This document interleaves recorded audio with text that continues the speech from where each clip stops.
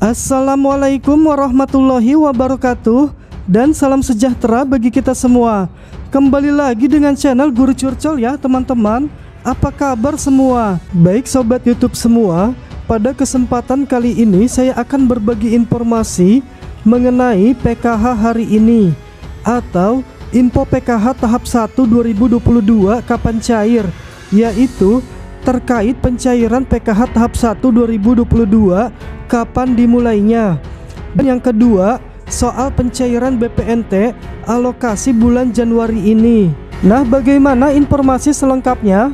Simak terus video ini, jangan di skip-skip ya, supaya tidak terjadi gagal paham dalam menyerap informasi yang kami sampaikan.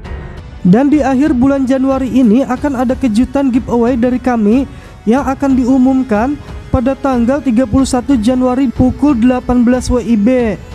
Siap-siap ini untuk empat orang pemenang. Ini akan mendapatkan masing-masing 100 ribu rupiah.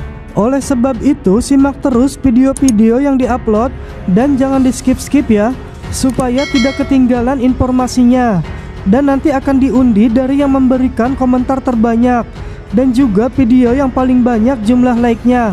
Oleh sebab itu berikan selalu jempol like-nya ya. Baik langsung saja kita ke poin pembahasannya.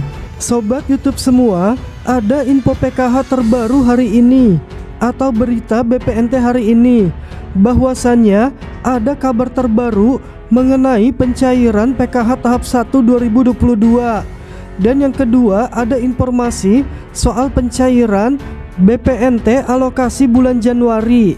Nah untuk yang pertama mengenai pencairan PKH tahap 1 2022 sebelumnya mohon untuk semua KPM untuk dapat memahami dan mengerti soal kondisi dan situasi yang ada di pusat.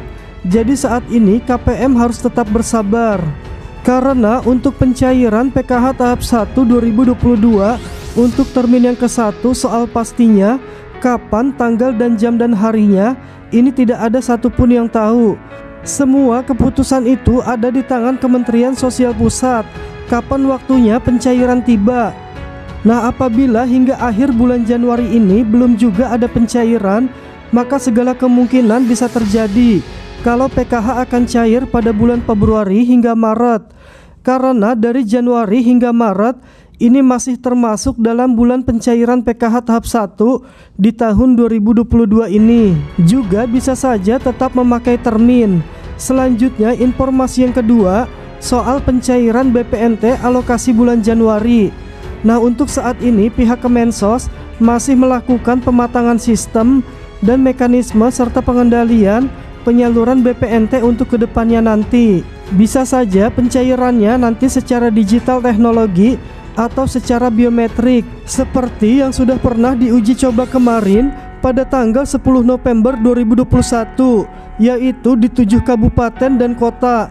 Dan juga tidak menutup kemungkinan tidak hanya mengandalkan agen e-warung saja tetapi semua warung bisa untuk mencairkan BPNT dan apabila hingga akhir bulan Januari ini tidak ada penyaluran bantuan BPNT, maka tidak menutup kemungkinan bantuan BPNT bisa disalurkan pada bulan Februari nanti. Dan KPM akan mendapatkannya secara double untuk bulan Januari dan bulan Februari atau bisa saja hanya berselang beberapa hari saja atau beberapa minggu.